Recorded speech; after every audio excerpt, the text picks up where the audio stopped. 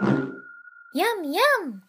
Floyd here with a quick look at creating an animated flame in Modo. Start by creating a radial particle emitter. Increase the emission rate to 60. Change the cone angle to 4, the initial velocity to 2 meters, and the velocity speed to 600 millimeters. Select the particle sim item and lower the particle sim max age to 20, then compute the simulation. Since particles don't render, add a blob item. Use the particle sim as the particle source.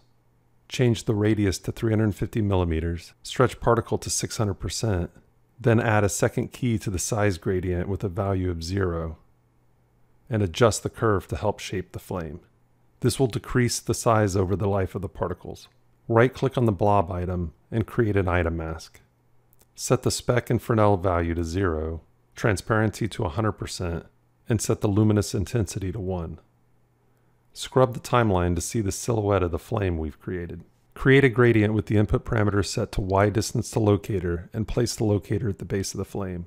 Set the layer effect to luminous color, and in the color gradient, create keys that ramp from black to blue to orange. Create another gradient with the input parameter set to incidence and the layer effect set to luminous amount. In the value gradient, create keys that ramp from black to white.